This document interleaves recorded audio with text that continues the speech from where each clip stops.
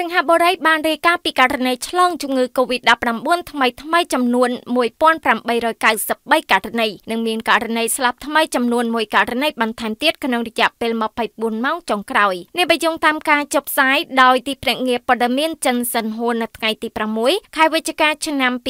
2022ក្នុងចំណោមករណីឆ្លងថ្មីខាងលើមានករណីនាំចូលចំនួន114ករណីក្រៅពីនោះជាករណីឆ្លងក្នុងសហគមន៍ទាំងអស់បូកបញ្ចូលតួលេខថ្មីខាងលើធ្វើឲ្យចំនួនអ្នកឆ្លង COVID-19 នៅក្នុងប្រទេសសិង្ហបុរីសរុបកើនដល់2លាន123,328ករណីដែលក្នុងនោះស្លាប់1687នាក់